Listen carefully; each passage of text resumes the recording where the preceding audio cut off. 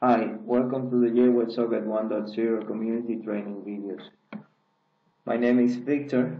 I am one of the JWebSocket developers and we bring for you today a complete training session of installation and configuration JWebSocket. So here with us we will we will show you how to install JWebSocket from zero, from scratch and we have a series of different videos separated different points. So for example, we will show you how to install Java, open JDK, export Java home in a separated variable.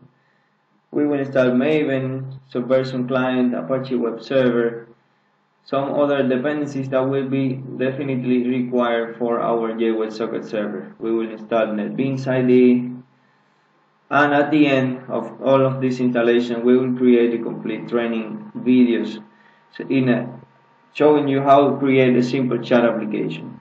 We create the server application, configure the JWebSocket XML to include the plugin and include all the dependencies in both client and server side. Open, close the connection, send some callbacks, and that would be the complete tutorial.